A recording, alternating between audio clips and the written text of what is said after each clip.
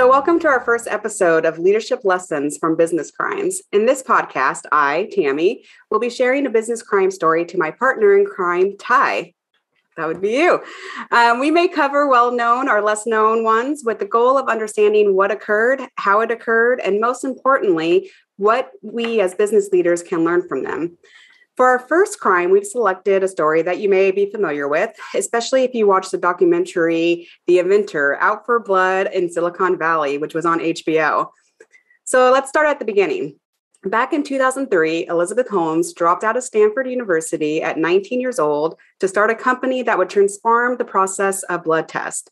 Elizabeth started working on a technology that, in theory, would allow for blood tests to be cheaper and more accessible to consumers.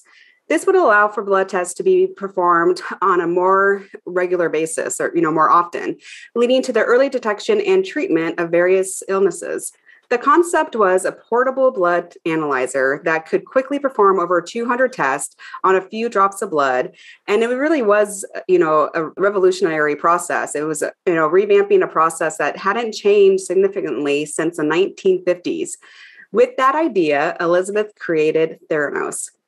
Theranos was able to raise more than $700 million through venture capitalists and private investors. They had partnerships with well known companies, uh, Safeway, Walgreens, and Blue Cross, to name a few. Elizabeth was leading was a leading force in the Arizona law change, allowing people to obtain blood draws without a doctor's order. At one point in time, Theranos was valued at $10 billion. So what happened? Employees started expressing their concerns that prototypes they had been feverishly working on simply didn't work. Allegedly, any employee that expressed their concerns to management were terminated. Employees also claimed that the amount of confidentiality and secrecy within the company stifled full understanding of any issues and prevented collaboration in developing a solution. What I found interesting in watching this movie and doing some research was the fact that investors and advisors, all who actually are really well known, I won't name them here, but they supported Elizabeth based on their belief in her. Many have been quoted stating that they found Elizabeth to be extremely trustworthy, passionate, and brilliant.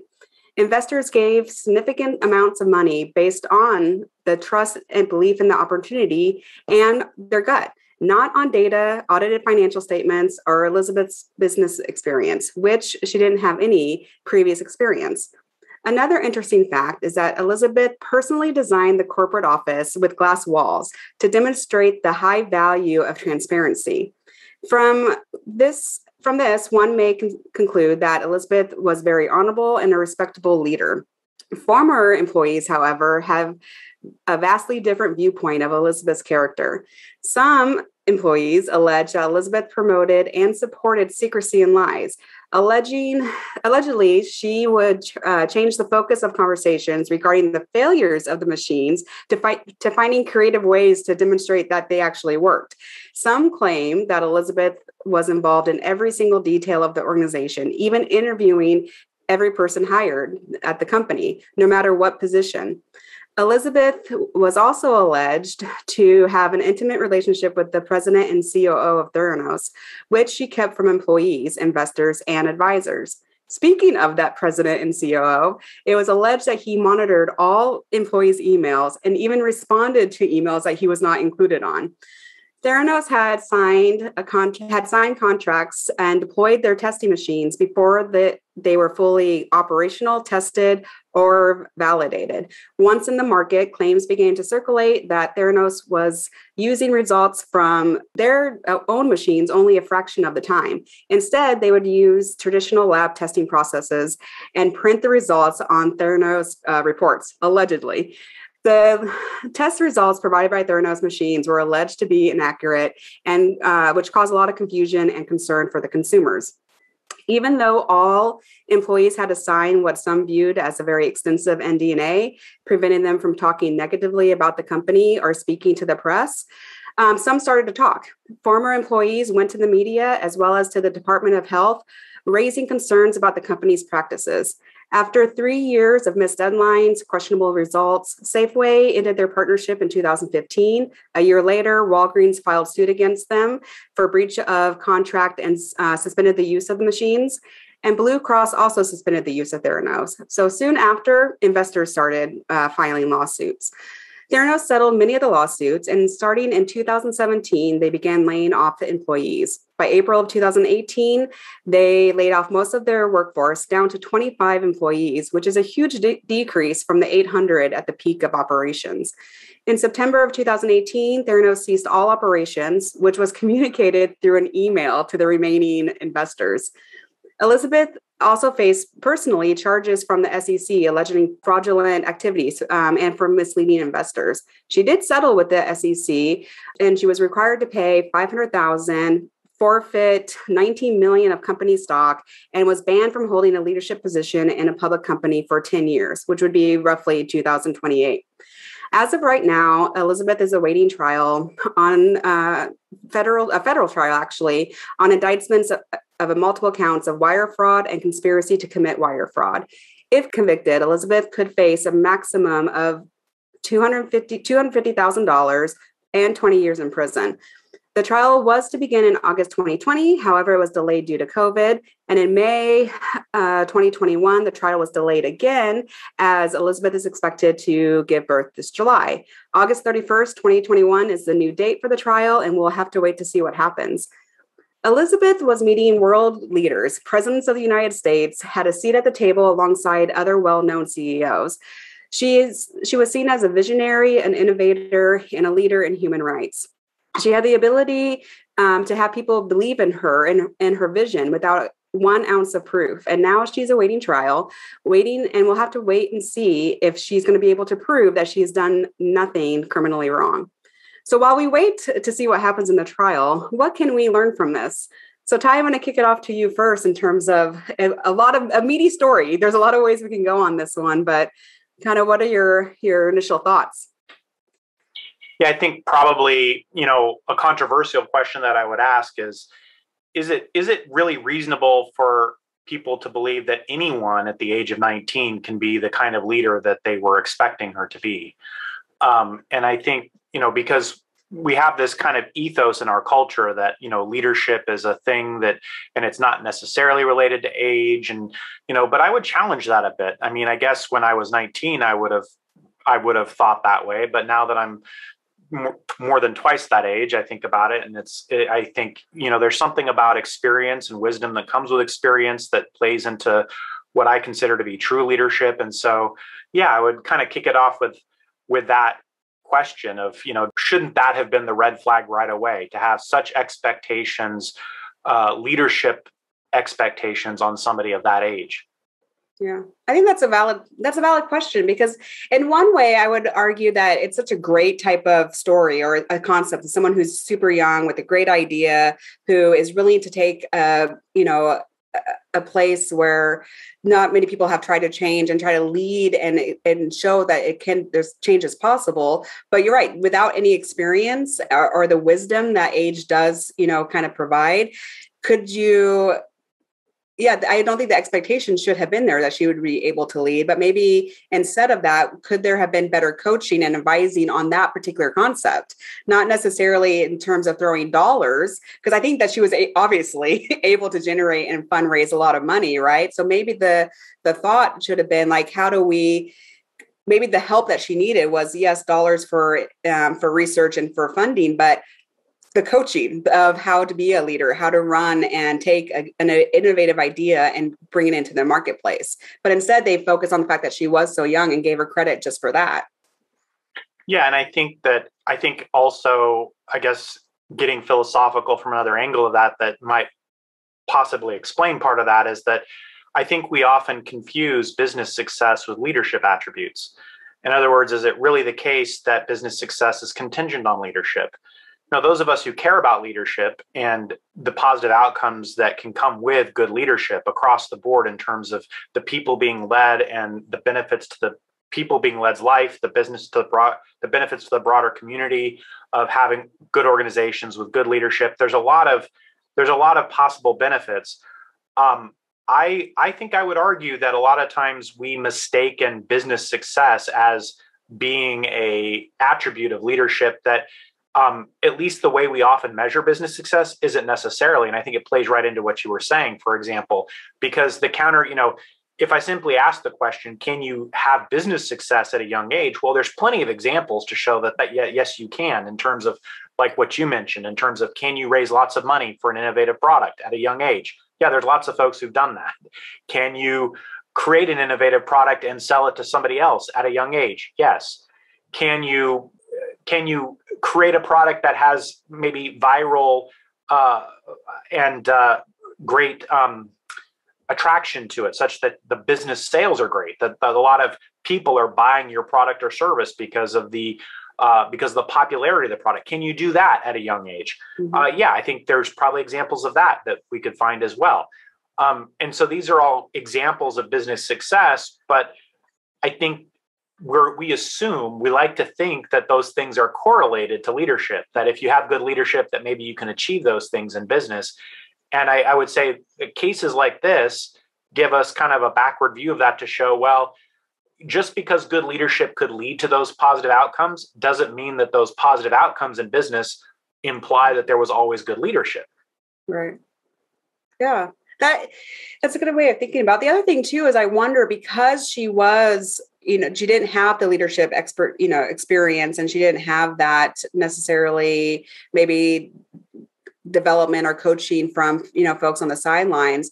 Could that have forced her or made her feel like she had to do some of these things in terms of trying to make the, the business a success to kind of cover up the fact that she didn't have the experience or that she needed to hurry up and rush to that so that she could demonstrate that it was happening through her good leadership that she thought she was um, kind of steering well, and I think you know when you talk about mentorship and the lack of thereof, right? But we also know, as you kind of talked about in the story, that she did surround herself with a lot of well-known, famous people. But you know what's interesting about that, and it is in line with a trend that I something that I often see is sometimes you get a certain kind of entrepreneur, and and and actually, I haven't necessarily seen this being correlated with being young entrepreneurs. I've seen this with older entrepreneurs as well, where you get certain kinds of entrepreneurs who will bring in advisors or they'll you know and often they'll come to us. You know we provide cfo advisory services. It's not uncommon that i get the call to uh, provide some kind of cfo advisory service or provide some kind of cfo uh, level work with the company. But as i start talking to the person what i realize is they really don't care for my advice.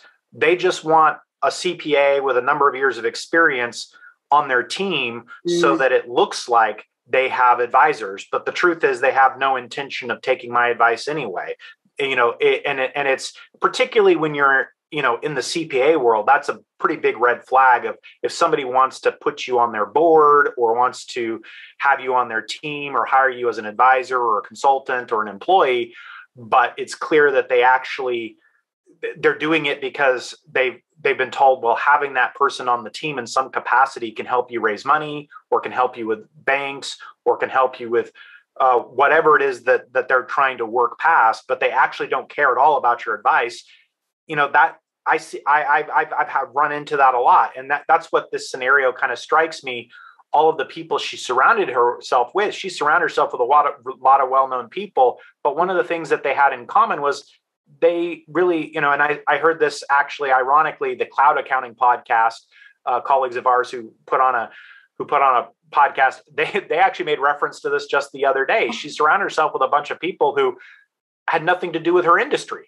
Right. You know, generals and you know heads of state and you know people who really didn't have the expertise to really provide any kind of real mentorship or um, or uh, help to her in that way and and that kind of suggests exactly what i'm saying that she wasn't looking for anyone to provide advice. She was looking for people to add credibility to her plate. Yeah so then lesson number one would be to no matter what stage you are in and your leadership um, kind of journey is to probably ask for that advice ask for help because i think every every leader could have an advisor one or two to help them support uh, them throughout their their journey. So that's an interesting to point on, on that. The um, the other thing that really kind of struck me as i was going through this and i would love to get your take on is so in terms of investing, so I would say everyone was really excited in terms of wanting to invest in this particular device, regardless if it worked or not. The idea of doing a, a whole new way of testing, which was you know going to re you know, you know change the whole entire industry and allow people to have more ease and, and access, but without a actual validated proof of concept that it actually worked. How does one invest, or how should one inv- invest, or make that decision to invest in a, comp- in a company where it is a brand new idea and you really don't know if it works or not? How what are some of the things that you can learn as an investor throughout this process? Because I would say from, you know, $700 million is a lot of money. So she obviously was able to, to raise it. But if that was all my eggs and I put it into this basket, it would not have been a great investment choice for me, obviously. So I'm just trying to think about that as, as we kind of go through, because that's another big kind of conversation that folks um, may be having in regards to this particular story. Yeah, I mean, I think it's a, I think it's a broader, I think that's a broader question because, I mean, in retrospect, this obviously wasn't necessarily a, a great investment, but in terms of the lack of information or the way in which investors came to this came to this investment, it's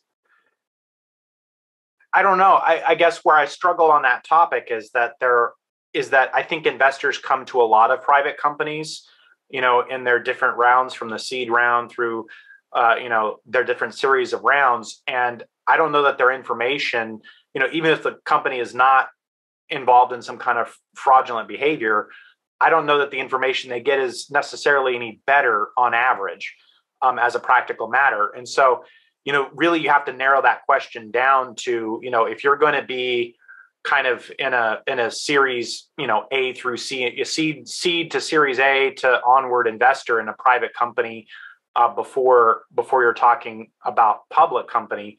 Um, you know, what what do you have to have in mind when you do it? And, and you know, those kind of folks, to some extent, they know they're rolling the dice, right? They mm-hmm. know, you know, and in fact, you know, firms that kind of collect people's money together to make those investments, they talk about uh, what they call the Monte Carlo model of investing, of making investments across multiple private companies, knowing that the vast majority of them actually will not pan out, but one will be a winner, and so on. And so, um, it's yeah, I think that's a I, I think that's a uh, uh, that that's a tough question in terms of what could you look for. You know, how could you make a better investment? I mean, in my perfect world, companies uh, investors would allocate capital, right? You know, investors, you think the one the role they play in our society is that they have capital to allocate. They have capital available to bring to, uh, and that's what helps the economy move forward. Is that they allocate capital to projects that have the highest potential of uh, moving forward and creating returns, which not only uh, which creates good things for the economy and society at large. And if investors don't play their role in a responsible way, then you know the the eventual uh, problem with that is that is that you your economy is not going to be running optimally, right? So mm-hmm. So in my perfect world, which does not exist, I would say that I would say yeah, it would be great if uh, an investor would get more detailed information, more financial information, financial statements, uh, a better understanding of the technology of the pro of the companies that they're investing in. But I think I'm I'm putting a huge caveat on this in the sense that you know with what I was saying earlier about this point is that while we can look at the investors in Theranos and say, "Wow, you put a lot of money into something you really didn't know that much about," mm-hmm. the truth is most investors and most private companies in the tech space do exactly the same thing. So it's hard to it's hard to criticize the Theranos investors mm-hmm. on my from my standpoint from from that that point. And and I think also from a financial and business standpoint, what I'd throw out there for our audience to appreciate is that it's just a different game at that level because when you're working in a new technology, it's often known that you're researching and developing a new technology that mm-hmm.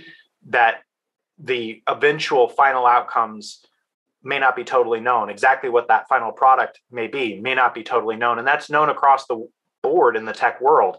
And what the investors are doing in the initial rounds is they're investing in for the purpose of moving the company forward to their exit which mm-hmm. still their exit may still not be the point in time when that technology is actually viable. So it's kind of a weird game because it's not what we think about in standard business, right? In standard business, we think, well, we invest in a company and we expect that company to have profits, which will generate a return for us. But mm-hmm. that's not the game that they're playing in these kind of tech finance worlds. The game they're playing is we're investing we're we're investing in technology until the next person comes and takes the hot potato from us.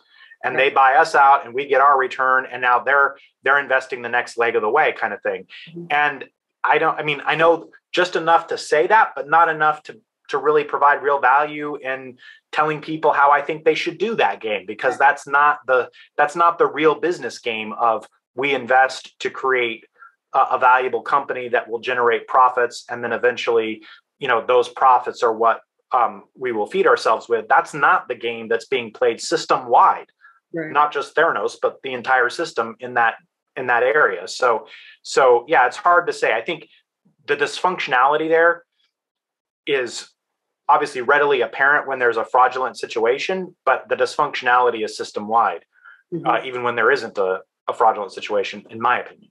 Right. No, I think it's interesting because I do I, for the most part, most invest- investors are pretty, you know, quiet. And even for the documentary that they had done, they were, you know, asking them some questions, and most of them were like, "Yeah, you know, it's it's a deal that didn't go, you know, go well." And I think that to your point, they're investing in a different type of, uh, they're playing a different game than a lot of us, you know, are. And they, to your earlier point, I'm sure they did, they diversified, right? So this wasn't, even though collectively it's a lot of obviously a lot of money, but I'm sure that they weren't betting the farm on it.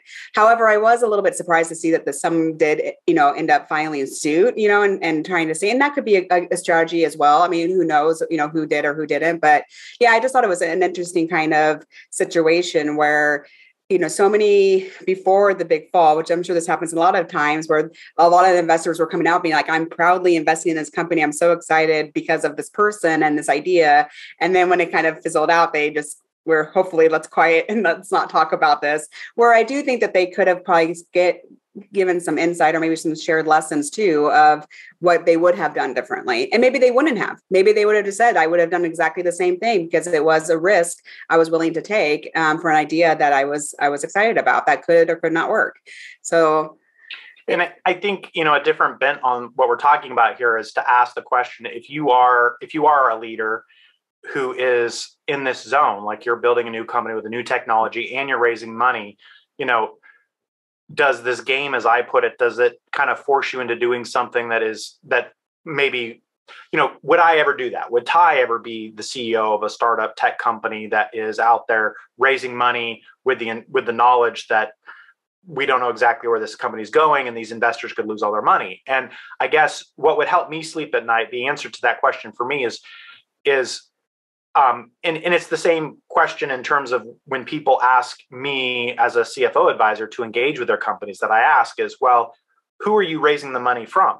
Are the people that you're getting the money from, are they indoctrinated in this game? You know, are they, you know, or are, you know, and a lot of companies, they start out with friends and family rounds. And so, okay, you know, I mean, that I, I get that. I mean, who's going to believe in you more than your friends and family? That's, that's great. But at some point, I guess my view on this is that uh, I would feel more comfortable as a leader in that space if the funding's coming from a VC or PE firm.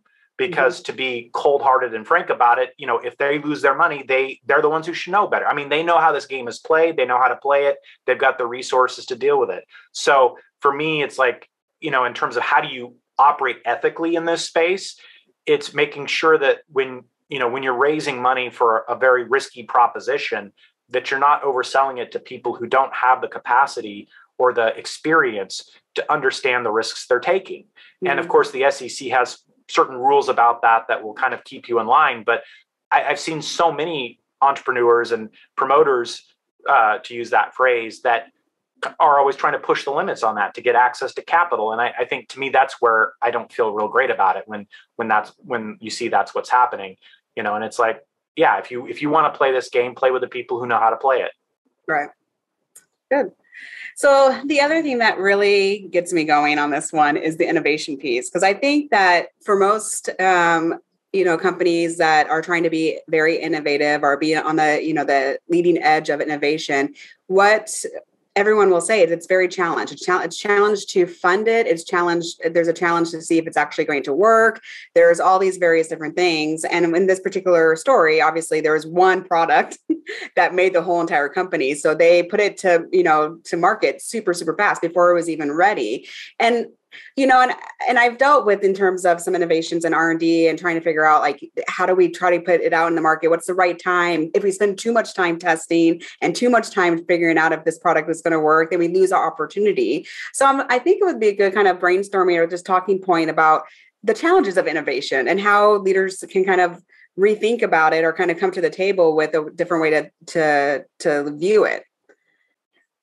Yeah i mean i i subscribe to the to the philosophy that uh, has been popularized in the in the tech community and maybe maybe i'm late on this and then people are moving away from it now but i think it the author was eric Ries who uh, talked about the minimum viable product mm-hmm. and the idea with innovation is you know in, in terms of that concept and this is a very familiar concept in the tech and software world is you put out you put out the product that had that that is the minimum possible thing that could provide some kind of service or some kind of value to the customer you know even if it's not the thing that like does everything that you're trying to achieve you put out mm-hmm. the minimum viable product and then you innovate you uh, iterate and innovate from there in a transparent fashion in collaboration with your consumers with your customers and with your mm-hmm. stakeholders and I think, you know, what's interesting, you know, when you relate this back to the Theranos case, to mm-hmm. some extent, that is what they were doing. They were putting out a minimum viable product that actually didn't do all the things they said it, they would do.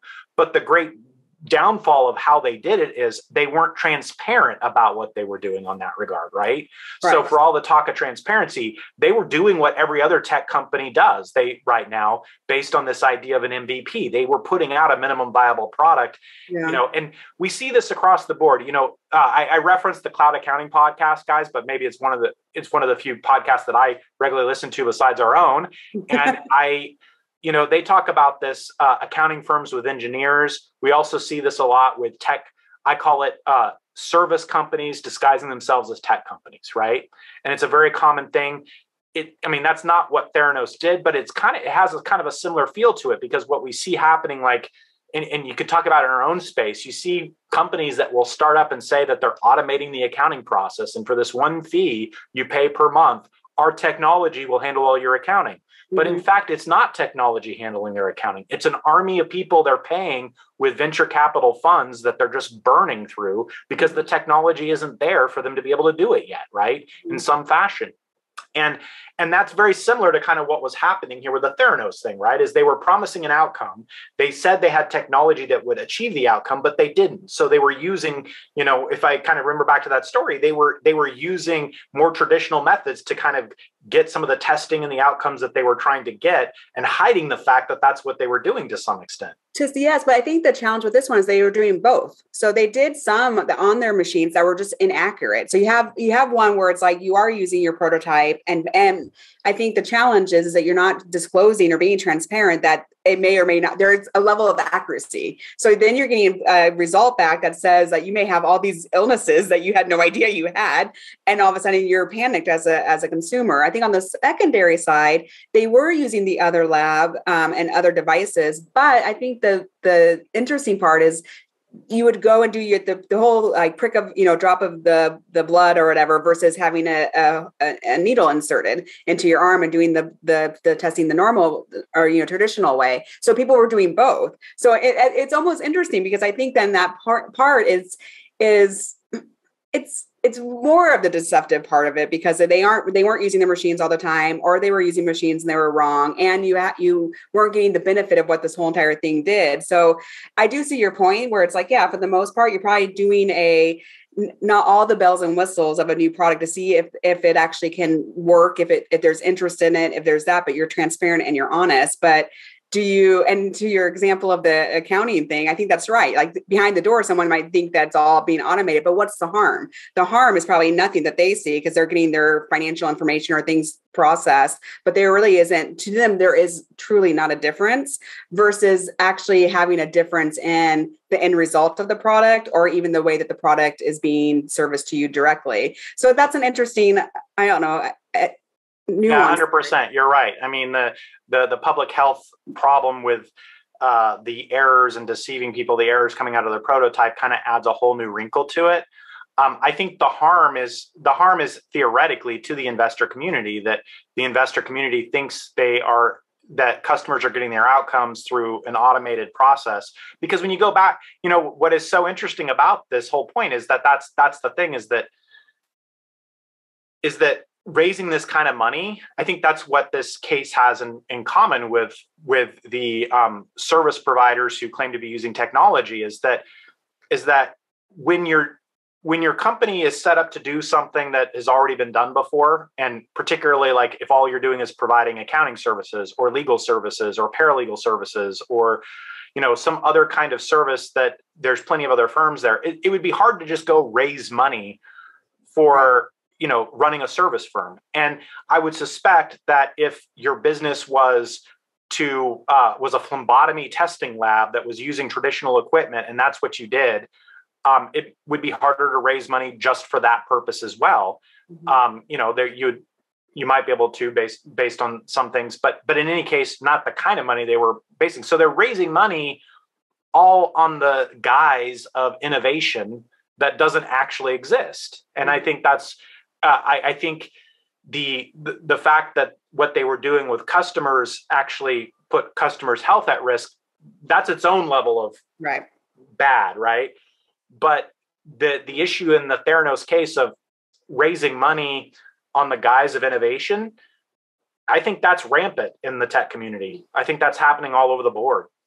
So how about this though? Okay, I'm going to throw another little wrinkle on, on here the examples of the the the Walgreens and um, some of the other uh, customers that signed contracts, so signed contracts to use um, you know these machines, also built an infrastructure to allow for these things. So they had they in themselves had significant capital costs for something that they did not know didn't work. And so that's to me, it's almost another talk about different learnings of that. It's like who signs a contract for for a lot of money on a product that that I, I don't know. I mean, I know that there was they there's they said that the machines worked, but like there's got to be some type of different ways to kind of look at that before you start rechanging your own capital structure of you know of like or a, a, building or whatever to uh, to allow these machines to come in and you're doing all these things and then it, it goes bust like they don't talk about that a lot because the focus is always on uh, you know elizabeth and and the company but i think that's also something to kind of consider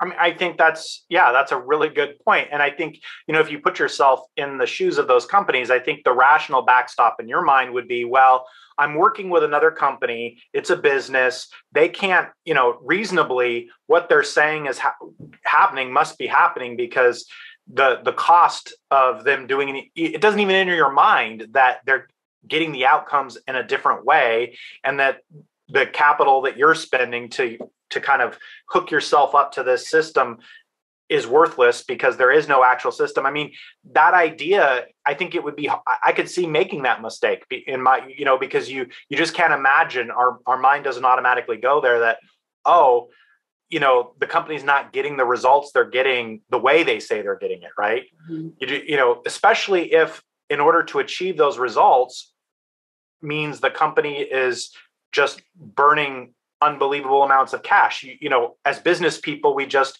we assume our counterparts would never do that, right? right. And you know, but that is we're assuming that's the problem. Right.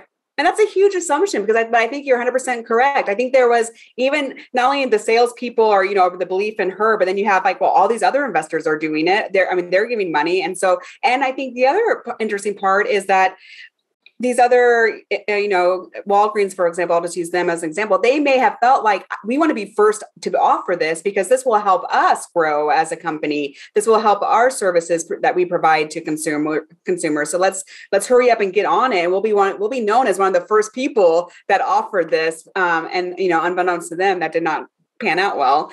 But it, it is a very kind of interesting, the pressures, I think, kind of all to start snowballing into this big, massive issue that, um, again, I think we the focus tends to be on that person the one individual with the story but i think there's actually a lot of different pieces to this this uh, kind of mystery puzzle that is very interesting and we can all learn from Uh, maybe the one of the last topics, and um, this came through a lot in the documentary, but the whole "fake it till you make it" philosophy, um, and you know, in terms of whether the idea of individually pushing um, you know through until you succeed or until your concept uh, concept is successful or modeling yourself after other people who are known you know well known leaders in the world and kind of emulating yourself to being like them you know what are your thoughts on because there's a a classic example in the story that she did follow other leaders and, and even to what she was wearing was very similar to that of Steve Jobs and all that kind of stuff of like what are your thoughts on that type of leadership um, philosophy? Um, yeah, I don't. I guess fake it till you make it is is. I think it's in line with some of the things I was saying earlier, in the sense that if you if what you're doing is presenting a fake picture of what you are and what your capabilities are, and then that's leading counterparties to make uh, investments in you that they otherwise wouldn't make, I mean, it's fraudulent. You know, fake it till you make it is just a, a fraudulent philo- a philosophy of fraud. If, if that's where that's going, right? I, mm-hmm. I mean, I think it, the the little things, the the nuances of um, dressing like or sounding like um, other other leaders, mm-hmm. uh, emulating other leaders.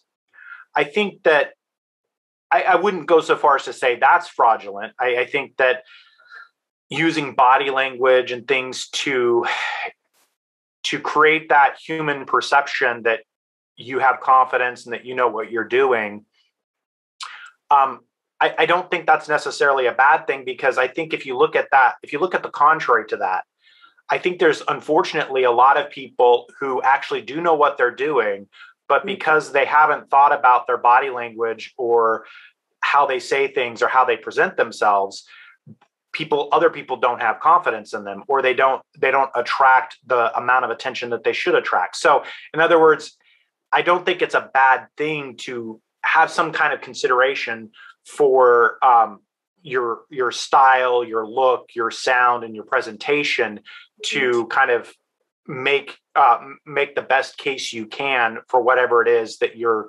doing because there are some things that are primal in human nature that we take as cues as mm. to that cause us to believe and have confidence in, in people and so i don't think using those things is nece- is inherently a bad thing not that i have a personal stylist as people who've watched me on anything else will probably know but but I don't necessarily think if someday in the future I do invest in that way that that would be a bad thing per se.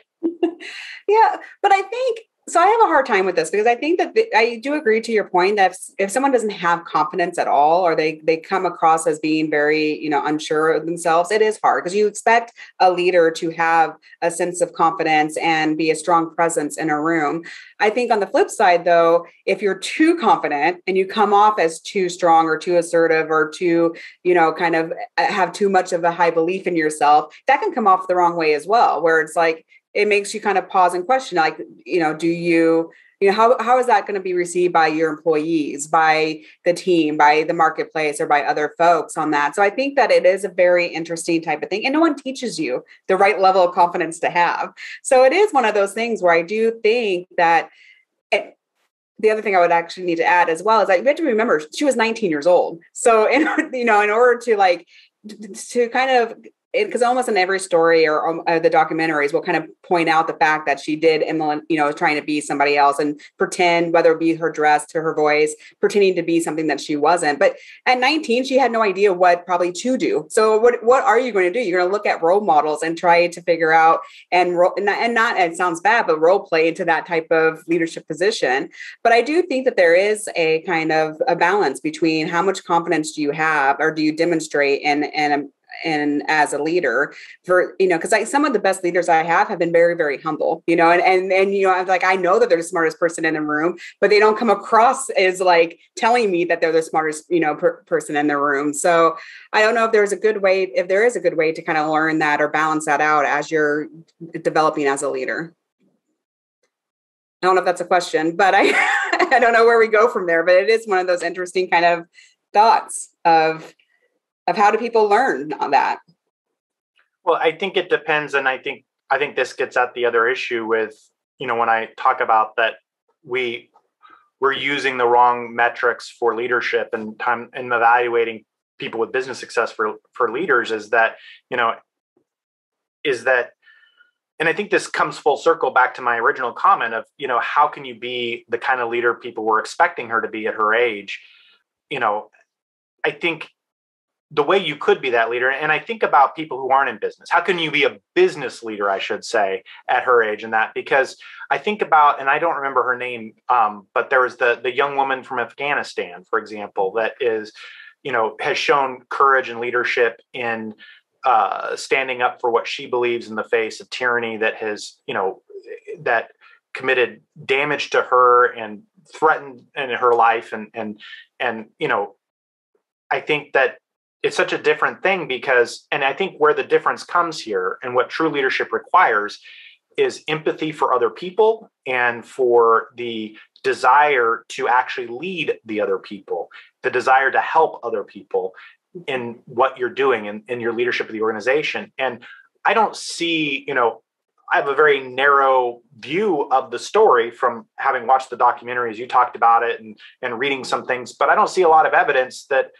that Elizabeth was a, really about helping the people in her organization, about trying to truly lead the people in her organization in that way. She was, you know, and I think that's what we often see from a lot of so called business leaders. We use the word leader too liberally, uh, is what I'm getting at. We see a lot of people who are in charge of businesses and we give them the title of leadership when they seemingly actually care mostly about what is good for them and what they can do to improve their situation. And I think that's I think that plays into what you're getting at is that if you are spending your time and effort pretending to be something you're not, I think I think the question to ask is why are you doing that? Are you doing that for your benefit or because you think that somehow helps you benefit the people in your organization? That's a very philosophical question we could probably go round and round about, but I think that's that's what it comes down to is that if the thing if the things that you're doing really amount to how can you maximize your pay, your fame,